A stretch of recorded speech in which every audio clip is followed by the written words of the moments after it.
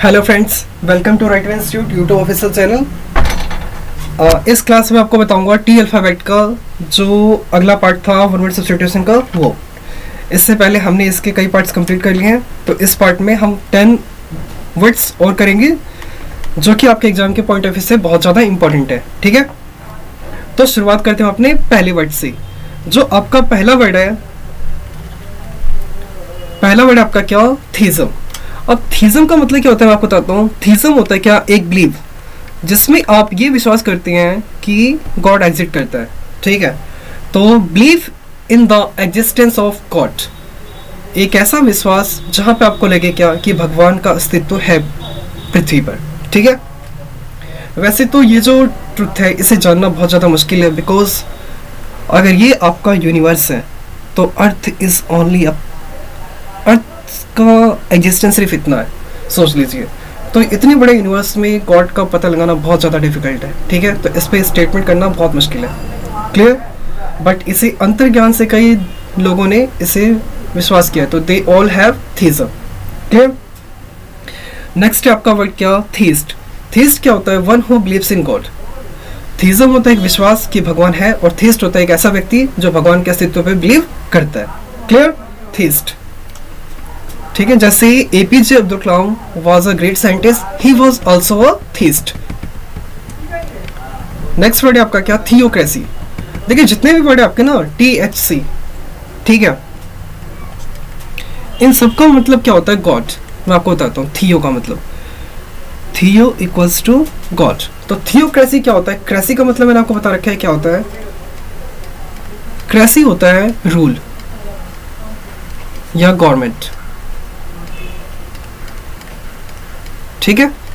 मतलब कि अब देखिए क्या यहाँ पे। किसके द्वारा? क्रेसी गॉड के द्वारा। मतलब एक ऐसा गवर्नमेंट जहाँ पे कौन रूल करता हो? गॉड। मतलब भगवान द्वारा शासन। हिंदी में कहे तो ये।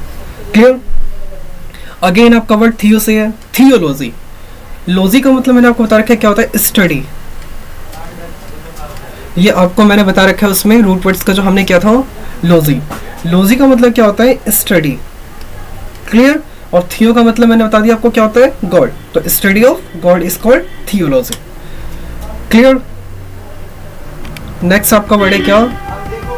थियोसॉफी थियोसॉफी क्या होता है? Study of God through mysticism अब यहाँ पे कुछ रहस्यमयी चीज़ों के द्वारा गॉड को जानने की कोशिश करना। ठीक है, इसे क्या कहा जाता है? थियोसॉफी क्लियर देख सकते हैं आप पिक्चर से। पिक्चर से आपको ध्यान रहेगा हमेशा ये वर्ड ठीक है? नेक्स्ट आपका है क्या थेजर्स थेजर्स क्या होता है? डिक्शनरी ऑफ़ सिनोनियम्स जिसमें आपके सिनोनियम्स होते हैं, जैसे एक वर्ड की कई सारे मीनिंग होती है, उसे सिनोनियम्स कहा जाता है। ठीक है? हिंदी में पर्यावाची जिसे कहा जाता है। तो ऐसी बुक को क्या कहता है? थेजर्स ये आपकी डिक्शनरी टाइप की होती है, जैसे यहाँ पे जो थेजर्स है, किसकी है?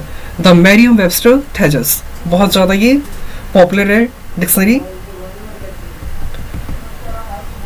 नेक्स्ट वर्ड है आपका क्या हो? टॉम बॉय टॉम बॉय क्या होता है? ये एक लेडी होती है, ठीक है? जो कैसा बिहेव करती है? A girl who enjoys violent games जिसे लड़कों की तरह या कुछ उल्टे सीधे काम करना ज़्यादा पसंद होता है, ठीक है? इसकी हरकतें थोड़ी लड़कियों से डिफरेंट होती हैं. टॉम बॉय बॉय से देख सकते हैं आप इसमें, ठीक है? लड़कों की तरह हरकतें थोड़ी अजीबो गरीब थोड़ी violent habits activities etcetera last word आपका क्या? टॉक्सिक टॉक्सिक का मतलब क्या होता है? पॉइजनस टॉक्सिक का मतलब होता है क्या? पॉइजनस जहरीला, जिसे कहा जाता है। एक और वर्ड होता है इसका विनोमस मैं आपको बता देता हूँ यहाँ पे विनोमस इसका मतलब भी क्या होता है? जहरीला. क्लियर ठीक है?